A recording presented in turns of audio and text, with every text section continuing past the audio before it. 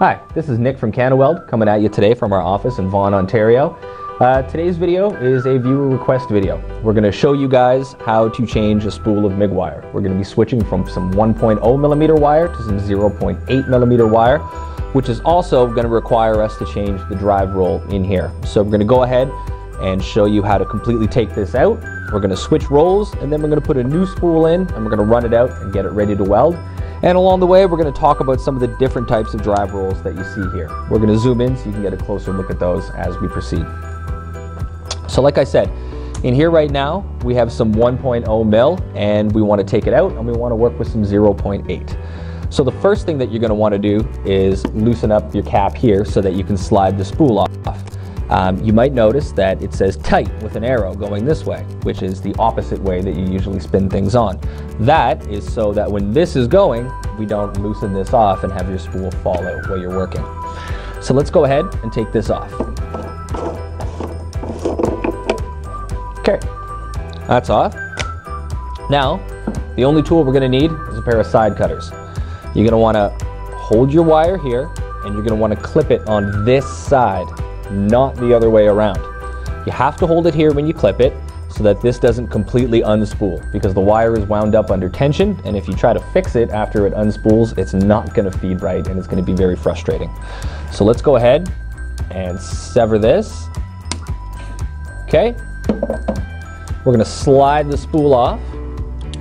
And something that you're gonna see on pretty much every single spool of MIG wire in the world is a couple of perforated holes here and here. Those are for you to tuck the wire into so that it stays nice and tight and you don't end up unwinding the whole thing. Because a spool of MIG wire is fairly expensive and losing it is not good. So now we got our zero, sorry, our 1.0 mil wire off. So now we're still left with the piece of wire that's all the way gone through our whip. So let's open up our drive roll system, take the tension off that,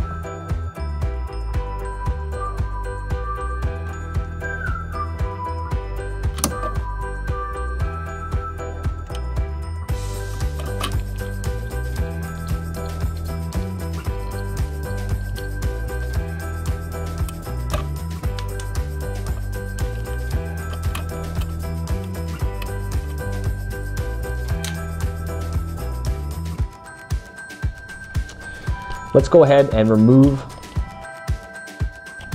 our tip. Uh, if you do have a ball on the end, you're going to have to trim it off. I just trimmed this one so we don't have to worry about it. So we're going to take that out. Now it's time to remove the old MIG wire.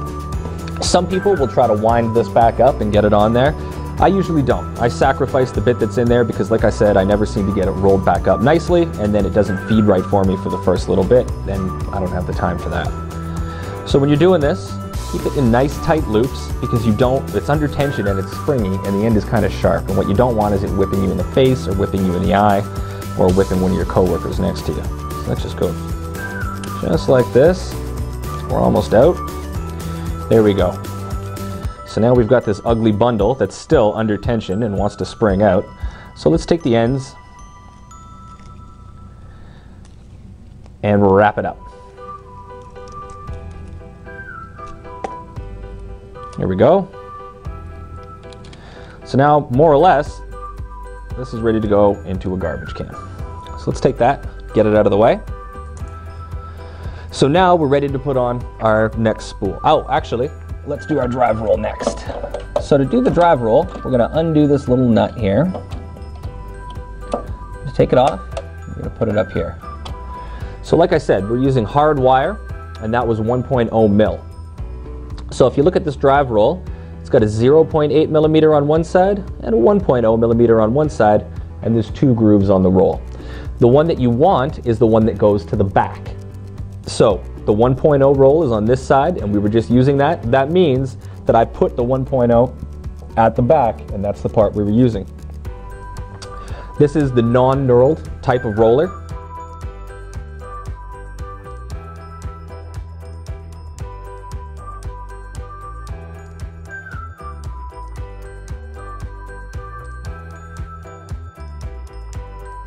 Uh, which is perfectly fine for using um, uh, stiff standard sort of wire. We also have and we're going to do a close-up of this later. But we have an 045 and an 040 that I pulled off the shelf today with these grooves. Uh, you would use the roll system with the grooves if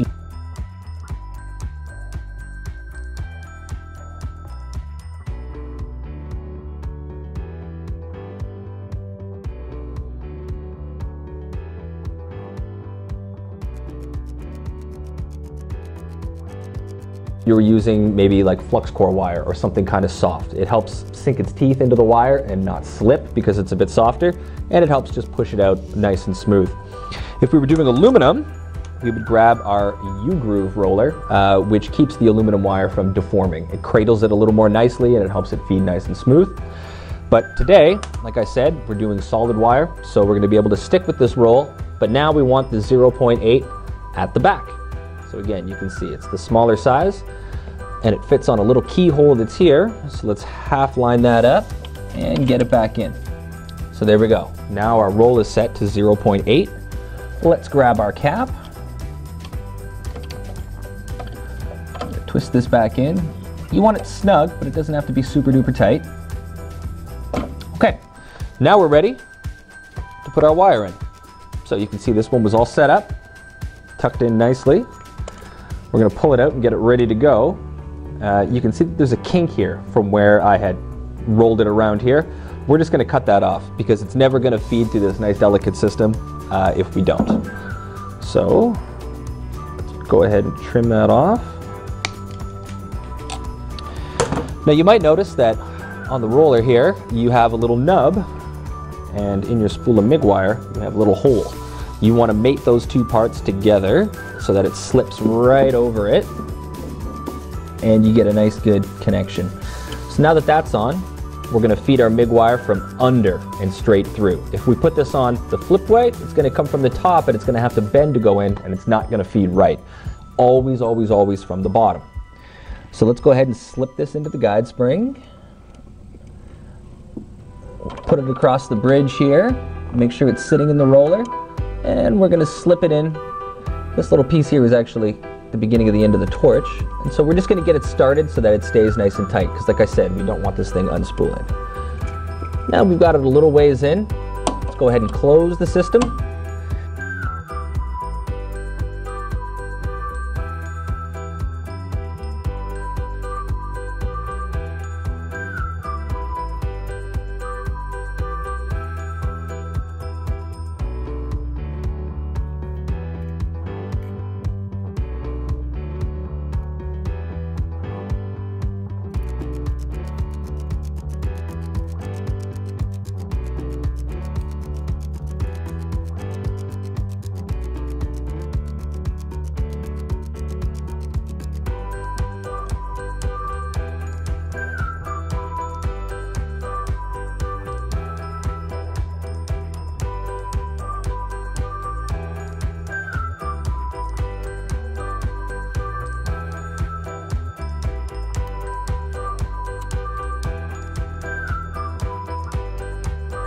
Let's lock it down.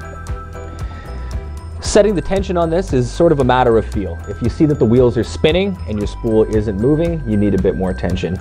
If your wire is coming out funny though, and it seems misshapen or you're getting shavings inside, you got too much tension.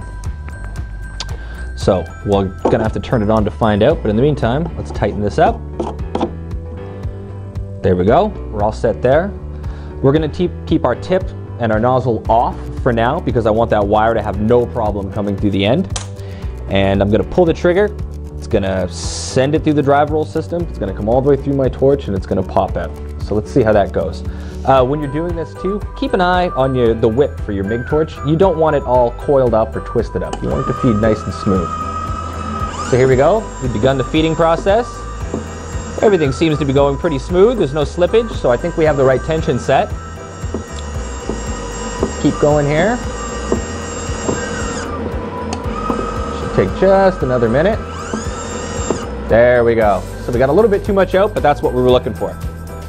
So let's go ahead and put our tip back on.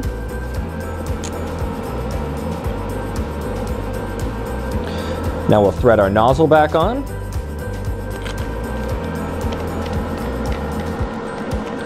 And then we're gonna grab our side cutters again and trim off the excess to the distance that we like. Boom. And there we go. Now we're ready to weld with some uh, 0.8 millimeter wire. And that's it. It's very simple. You just have to make sure that you mate the right rollers to the right kind of wire. And that's it.